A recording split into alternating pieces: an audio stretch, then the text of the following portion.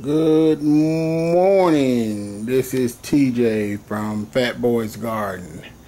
Last night we had a storm that came through and the wind was just blowing like crazy and this is what I woke up to this morning.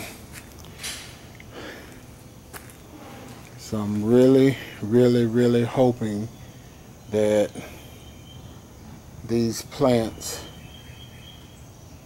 are gonna survive it. I understand because they're real top heavy. That's probably why they blew over but that plant there is pretty much broken. And it just started bearing fruit. So I'm not real sure what's gonna happen here. Um, this is I hope it just looks a lot worse than what it is let's go here in the backyard and this is what kind of struck my eye at first.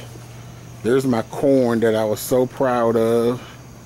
The wind was blowing so hard my corn is pretty much blown over. And unfortunately I'm on my way out of town so ain't much I can do about that this morning.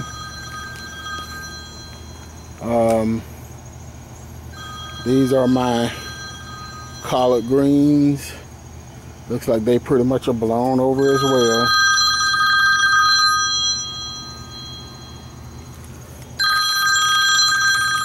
Hey